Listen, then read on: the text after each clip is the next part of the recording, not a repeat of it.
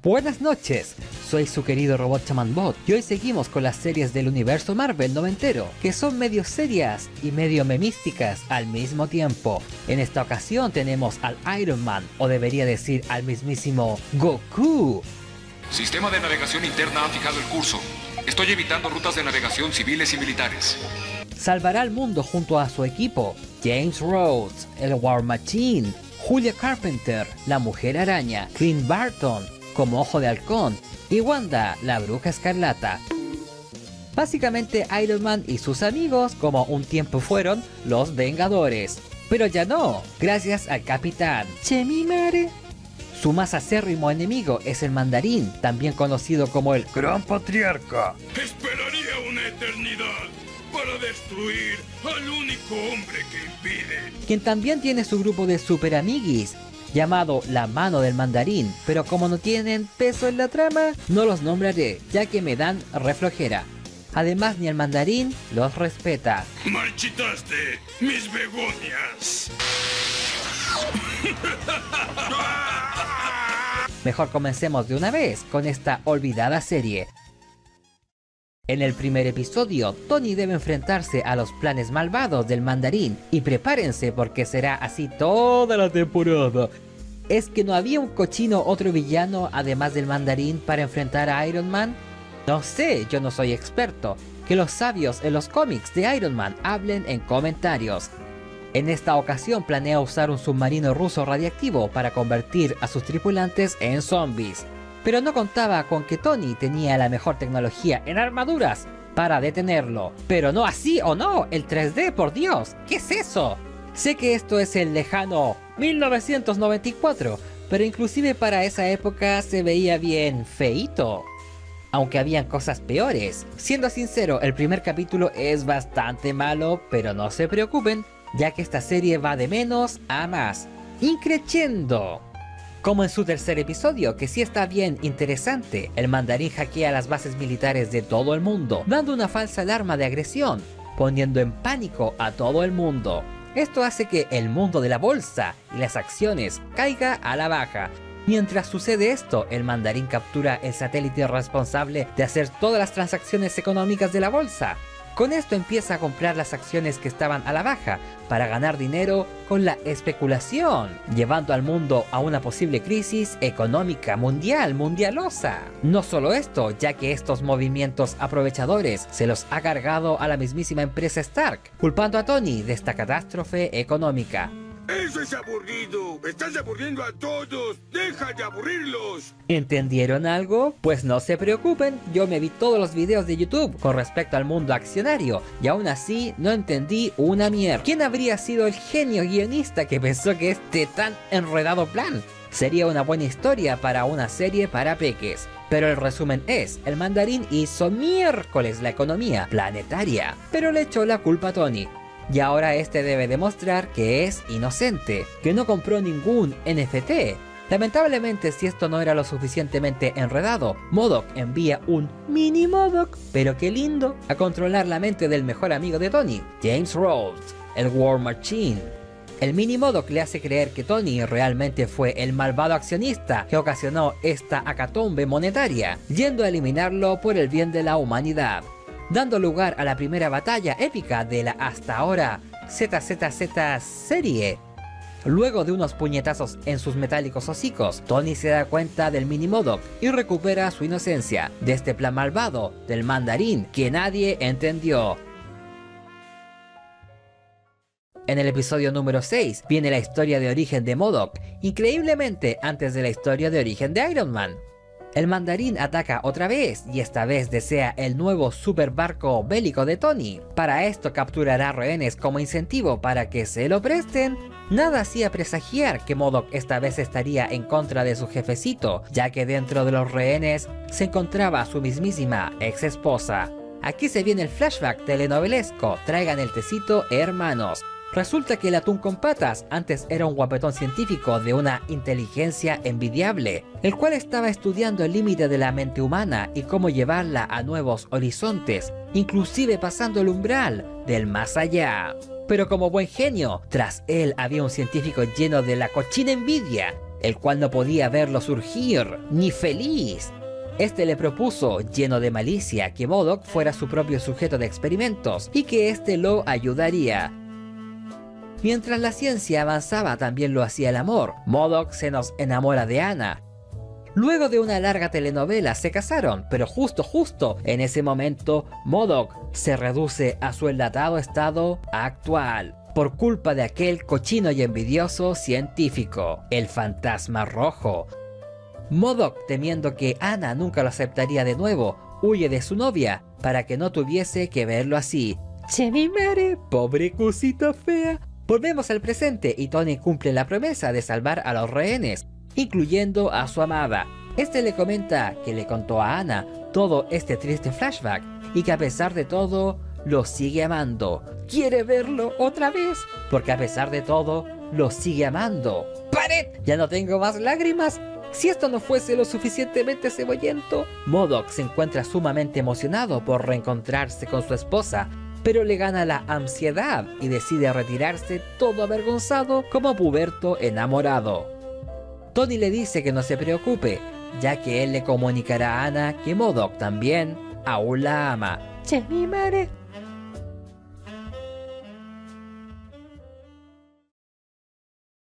En el episodio número 7 tenemos otra historia de origen, esta vez del mismísimo mandarín. Este era un ávido y valiente explorador, raudo en busca de aventuras, siempre junto a su amada esposa. Aquí viene la telenovela otra vez. Preparen los pañuelos, o eso diría. En una de sus tantas aventuras, el equipo aventurero del mandarín se ve rodeado de cazadores renegados y este escapa raudamente dejando a todos sus amigos atrás. ¡Cho! Ni siquiera se llevó a su amorcito, ya que dos personas arriba del camello solo demoraría su andar. ¡Cho! Ni un respeto por sus amigos, su novia y mucho menos por la telenovela. En su huida cobarde, cae por azares del destino dentro de una mística habitación escondida en las arenas del misterio, en donde se encontrará una nave extraterrestre con unas piedras hermosas, a la par de poderosas. Podrían ser las piedras del infinito o al menos sus primas lejanas, ya que estas eran 10 y necesitaban de 10 anillos para poder utilizarse. Buscando en internet me di cuenta que cada uno de los anillos tenía un poder especial, como cambiar la estructura de la materia, generar calor, robarse la luz de las cosas o manipular mentes. Pero en la serie en realidad solo tiran rayitos. Tal vez pensaron que sería demasiado complicado explicar 10 poderes de 10 anillos. Tal vez mucho más complicado que entender el mundo accionario. Lo que no sabía el mandarín es que esos anillos tenían dueño, un dragón alienígena quien se había estrellado hace eones en la Tierra, que le dijo pasa para acá o te incinero. Obviamente el malandra no hizo caso y se enfrentaron. Aún así después se volverían panas trabajando juntos en el futuro. En el episodio número 11 por fin tenemos la historia de origen de nuestro héroe. Tony sufre un accidente combatiendo con el mandarín, quedando atrapado en una caverna de hielo. Su armadura necesita 6 horas para repararse, así que para no quedarse mimido e irse en el sueño eterno por la hipotermia, decide usar su casco como proyector para ver sus flashbacks. Oye, esta escena del casquito me parece familiar. ¿La amo 3 millones o 3 mil? Tony era heredero de las empresas Kaiba Corp al mando de su padre, Walter Starr. Él era un genio disciplinado, ingeniero, y esperaba lo mismo de su retoño, quien sí era muy inteligente, pero era un pequeño vividor, que no pagaba las pleitesías necesarias a Don Walter. Así es, brillante pero holgazán, como dijo el Hola Peter desperdiciando su tiempo entre las bellas y las botellas, lo cual le trajo muchos problemas. Oh por Dios, es Robert, con razón lo eligieron para el papel. Pero tal como aquel muchacho, nuestro Tony animado se superó y salió del agujero del que se encontraba forzosamente, como suele aprender la gente en la vida real, cuando la vida te da patadas en el páncreas. El enemigo de las empresas Stark, Justin Hammer, siempre ha odiado a Walter y quiere puro agarrarse a lingotazos de oros con él. Básicamente son el tío rico versus Flynn Magnate. Justin empieza a causar ciertos accidentes en las empresas Stark. El mismísimo Walter se convierte en víctima de uno de esos pormenores, perdiendo su vida, no sin antes despedirse de su hijo, a quien le dice que lo quiere 3 millones o 3 mil. Si la telenovela no era lo suficientemente dramática, el mandarín ahora aliado de Hammer captura a Iron Man para que le construya una armadura con la ayuda de un viejo amigo de su padre, el Dr. Winsell. Pasan los días y las semanas y el explotador del mandarín quiere que termine la armadura lo antes posible, entregándole una motivación adicional. Si no termina la armadura dentro de los próximos días, el vejestorio pagará las consecuencias. Lo que no sabía el mandarín es que ellos ya estaban a punto de terminar la armadura, gracias al último componente que necesitaban. Todo gracias al Doc. Poco de paja de mi cama. Iron Man por fin puede enfrentar al mandarín mano a mano y escapar de su confinamiento. Todo gracias al sacrificio del Doc para que Tony siguiese con el legado de su padre para salvar a la humanidad del único enemigo hasta ahora, el mandarín. Ahora quítate la ropa rápido. El último episodio de esta primera temporada se llama La boda de Iron Man. De lejos creo que es el capítulo con el nombre más comiquero antiguo de todos los modos noventeros que hemos revisado. En este humilde canal, en este Julia, la mujer araña y Iron Man se casan mientras recuerdan episodios del pasado, así que este capítulo es medio relleno, medio nuevo. Lamentablemente este episodio no daba para telenovela, ya que la boda era falsa. Una triquiñuela para que todo el mundo estuviese pendiente de la boda de Stark, mientras Iron Man aparecía en escena al mismo tiempo, para anular cualquier sospecha de que Tony fuese el hombre bajo la armadura, sobre todo para el mandarín, quien estaba empezando a sospechar de Tony Stark.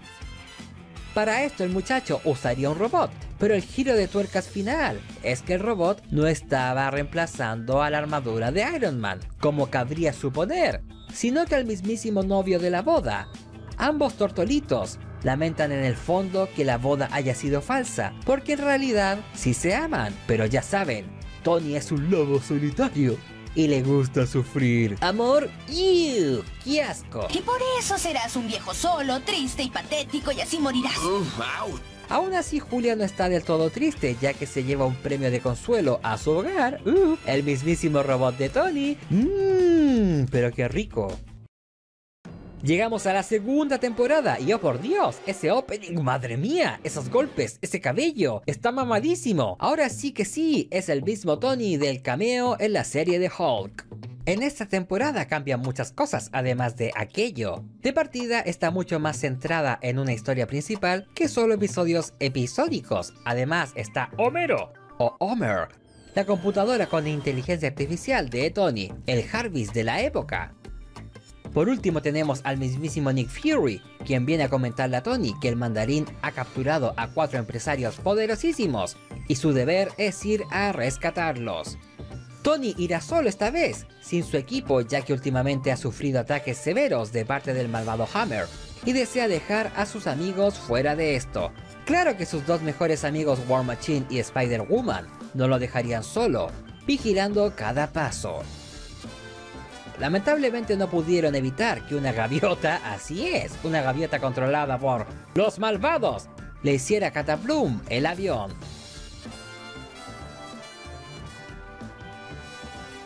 Todos dan a Tony por liquidado, ya que este no da señales de vida. Sin saber que esa era la intención de Tony, aprovechó el momento de su supuesta aniquilación para no poner en riesgo a sus amigos y terminar solo su viaje a China el mandarín había capturado esos cuatro poderosos sujetos, ya que en verdad eran dragones alienígenas, como el buen amigo del mandarín. Estos también se habían estrellado en la Tierra. Para sobrevivir, se disfrazaron como humanos y usaron sus cochinas influencias para ganar poder. ¡Oh por Dios! ¿Son los reptilianos? ¿O draconianos? ¿Existe esa conspiración? ¡Oh por Dios! ¡Viejo! ¡Todo calza! Todo calza. Sin embargo, Nada hacía presagiar que el amigo dragón del mandarín lo traicionaría ahora que tenía a sus compañeros de vuelta, justo para el equinoccio universal que hará que los dragones conquisten al mundo. lo único que le queda al mandarín es suplicar la ayuda de Iron Man. Mira cómo viene arrastrándose ese hijo de Iron Man como es nuestro héroe se une sin chistar para derrotar a los dragones. Quien paga el precio más caro es el mismísimo mandarín, Luego de la explosión de rayitos de sus anillos que acabó con los dragones, sus sortijas salen volando en diferentes direcciones del mundo como esferas del dragón. Tony piensa que el mandarín ha desaparecido para siempre, volviendo a su cálido hogar, con sus grandes amigos que ahora lo odian por haberse hecho el muerto y preocupar a todos. Lo reprimendan y con razón, ya que tenía a todos vueltos locos. Además, esto probaba fehacientemente que Tony no confiaba en nadie y que si ese era el caso, entonces no necesitaba a nadie en su grupo. El más dolido de todos es Ojo de Halcón, quien se retira rápidamente junto a los demás.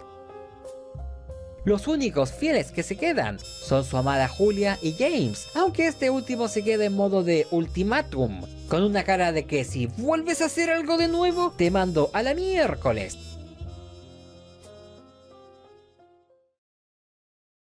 En el capítulo número 16, un equipo de científicos renegados está desintegrando ciudades enteras. No sé, yo no le tendría mucho respeto a una organización con trajes tan genéricos. Tony sospecha que están lanzando rayitos desde el espacio, así que se va a navegar por el vacío y frío cosmos. Justo encuentra una base espacial conocida como el Pozo Estelar. Resguardada por Centurión, quien viaja arriba de un meteoro, eso es bastante cool. Él lo escolta amablemente al Pozo Estelar, habitado por Arthur, quien se encontraba trabajando en la próxima generación de energías renovables, una especie de plasma solar generado en su base y que puede ser transportado a todas partes del mundo. El trabajo de su vida, el cual Tony hace pedacitos ya que lo inculpa de los rayitos destroza ciudades que están cayendo sobre la Tierra. Luego de un angustioso forcejeo, Arthur confiesa que ese rayito sí cayó desde el pozo estelar. Sin embargo, alega que no fue su culpa. Había sido todo plan de un viejo conocido, Justin Hammer, para apoderarse de la tecnología a través de los científicos renegados anteriormente mencionados, quienes justamente ahora estaban atacando la base gracias a ser guiados por el mismísimo Tony Stark. 3 millones de gracias. Tony comanda el cierre inmediato de la estación espacial, a lo que Arthur se niega por ser su único propósito de vida, además de que si lo cierra, él también dejaría de existir. Resulta que contrajo una enfermedad producto de la exposición a la radiación solar, la única manera de neutralizarla era aventarse rayos del mismísimo pozo estelar. Supongo que tiene sentido en algún universo Marvel. Oh por Dios, está mamadísimo para su edad. Y más mamadísimo estaría cuando esos rayos catódicos le proporcionaran una nueva apariencia en forma de Centurión.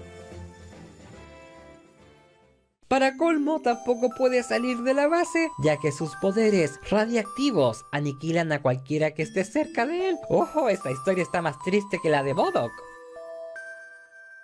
Para más remate, producto del ataque anterior, el pozo estelar comienza a caer directo a la Tierra, poniendo en riesgo a millones de vidas.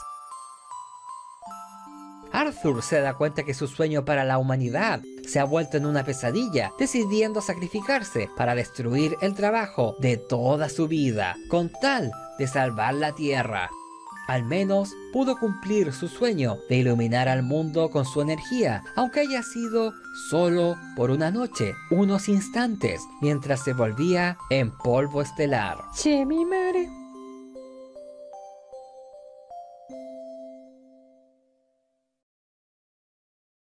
Llegamos a tal vez uno de los arcos más importantes de la serie de cómics de Iron Man, Armor Wars. Así es, el mismísimo nombre de la nueva serie de Disney. Tony se encuentra peleando con el Barón Rojo, quien tiene una armadura muy parecida a las que usa Iron Man. Mmm, los miedos más grandes de Stark se hacen realidad cuando descubre que efectivamente sus diseños secretos de armaduras se estaban fugando de su empresa. Todo gracias nuevamente al malvado Hammer, quien desea que la tecnología Stark sea descubierta para ser mal utilizada en armaduras enemigas para que la empresa de Tony quiebre. Aunque ese es el menor de los males para el muchacho, ya que se siente absolutamente responsable de todas las vidas que fueron tomadas por culpa de su tecnología. Ah, bueno. Su deber ahora es encontrar literalmente cada una de las armaduras en el mundo que estén utilizando tecnología Stark y destruirlas por completo. Sus camaradas nuevamente vuelven a decirle que no está solo y bla bla bla, pero vuelve a hacerse el solitario atormentado. Esa pinta de hombre deprimido y torturado está pasada de moda. Así que nuestro solitario héroe emprende su viaje cumpliendo a cabalidad su cometido. Todo marchaba bien cuando se hacía cargo de los malvados que mal utilizaban su tecnología, pero todo se descontroló. Cuando Tony ahora también estaba desintegrando las armaduras pertenecientes a los buenos, como las de Shield, ni siquiera su viejo amigo Ojo de Halcón pudo detenerlo. Indignado Fury va donde Stark a exigirle que detenga a su empleado Iron Man, ya que todos los ojos están sobre él. ¡Ja! Tony decide hacer un comunicado de prensa en donde declara que ha despedido a Iron Man. Con esto cree que la presión sobre él cederá, pero solo aumenta por parte de sus amigos, sobre todo de Julia, quien le pide, quien le ruega, quien le exige que confíe al menos en ella, que por qué tiene que hacer todo solo. A lo que él responde, ¿Crees que realmente funcione? No lo sé. ah bueno, el único que puede detener a Tony es su fiel amigo James Mememes Rhodes, utilizando su vieja armadura. Tony dice que no se entrometa, que no quiere hacerle daño. Bueno, eso hasta que se da cuenta que esa armadura también tiene tecnología Stark. A ver, a ver, a ver. Durante todo este tiempo de cazar armaduras, ¿no se había dado cuenta hasta ahora que War Machine es su tecnología también? Siendo que su armadura se parece mucho a la suya. Básicamente es su armadura desteñida. Y con un cañoncito, guionazo. Igual termina derrotando a James. Ahora queda una armadura menos en el mundo que neutralizar y un amigo menos. Hammer se aprovecha de la situación con otra conferencia de prensa, comunicando que pondrá toda su tecnología para atrapar a Iron Man, sobre todo a su nuevo juguetito bélico, un Metal Gear, o también el tanquecito de Robocop.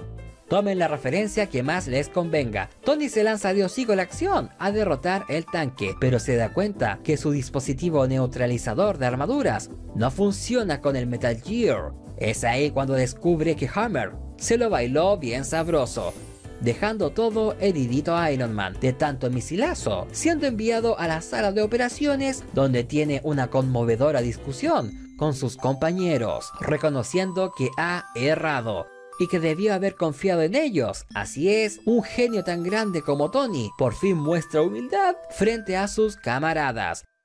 Lo bueno de las animaciones de Marvel es que puedes disfrutar de estos momentos emocionales sin miedo a que sean arruinados por un chiste de miércoles. No puedes tratar a la gente como a las máquinas. Tenemos emociones. ¿Debo ofenderme por esa aclaración? Entonces aquí nació el problemita. Ah bueno. Con todos siendo amiguis nuevamente, Tony se pone manos a la obra para crear una superior armadura, dando nacimiento al Hulkbuster, el cual cuenta con los stats suficientes para derrotar al Metal Gear en un mano a mano.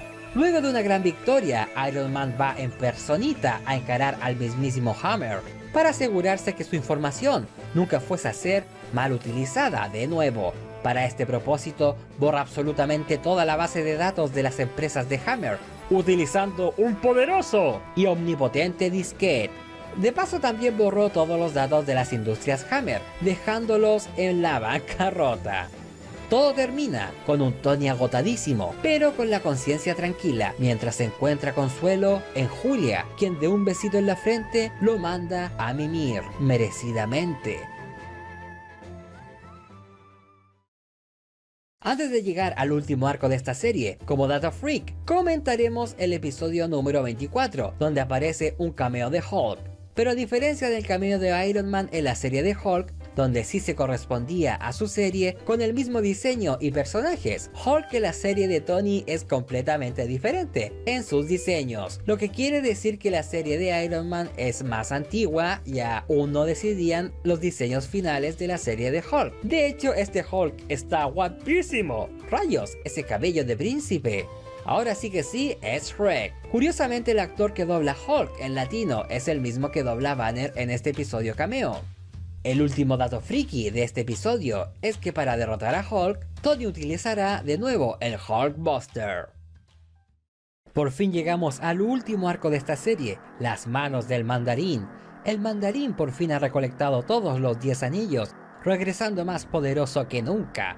Su plan final es eliminar toda la tecnología del mundo, dejándolo completamente desprotegido, obligando a la gente a tener que levantarse nuevamente, a salir a la calle. Para este cometido, el mandarín libera una misteriosa niebla que ocasiona cortocircuitos por toda la ciudad de Nueva York. Tony intenta detenerlo, pero inclusive su poderosa armadura pierde sus poderes ante esa niebla. Tony, al no tener la tecnología de su parte esta vez, por fin se ve obligado a confiar en la amistad. Reuniendo a todos sus amigos a enfrentar este gigantesco predicamento partiendo por el dolido Ojo de Halcón, quien no duda en ayudar a su viejo amigo, aunque sea a regañadientes. Tony va a luchar contra el mandarín, pero no es rival para él, ahora que es una simple hojalata. Lo peor de todo es que la niebla antitecnología no solo está afectando su armadura, sino que su soporte vital, el cual hace que su corazón aún haga tum tum o doki doki para los otakus. Lo peor de todo es que sus amigos también caen presa del villano, por lo que nadie puede ayudar al pobre Tony. Más que el James Memes, quien también no tiene poderes y depende de su armadura. ¡Ah! ¡Qué gran ayuda! Su única esperanza es una repentina alianza con Modok, quien también está sufriendo los estragos de la niebla. Y al igual que Tony, tiene las horas contadas, si no hace algo.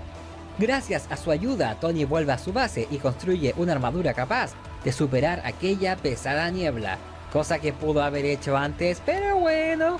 Volviendo a rescatar a sus queridos amigos, por fin confiando en ellos, utilizando las habilidades de todos, trabajando en equipo para salvar el día y destruir el núcleo de poder de la niebla.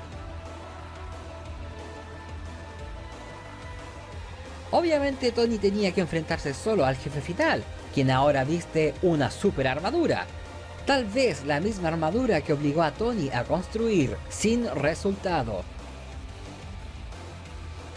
Pero la pelea dura como 30 segundos, como diciendo ya, se nos está acabando el tiempo del capítulo, o el presupuesto, haciendo explotar la armadura provocando que el mandarín quede todo desprotegido en su forma espiritifláutica, Lamentablemente para él, cae justo en manos de unos bandidos, quienes estaban en busca de sus anillos, arrebatándole su vida en una escena censurada. O tal vez lo dejaron sin deditos, uy, no sé cuál, es peor.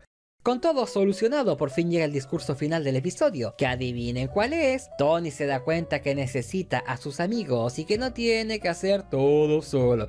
Ya, mejor bésense a la luz de la luna. Pero qué bonito si te ha gustado este video me encantaría muchísimo que me dejases un me gusta y te suscribas con campanita y todo para que no te pierdas el próximo video. Y porque eso le encanta al tío YouTube. Sígueme en redes sociales, abajo en descripción y en el comentario fijado. Sobre todo en el tweet, donde conversamos bien bonito. Muchas gracias por ver hasta el final. Y me despido. Adiós.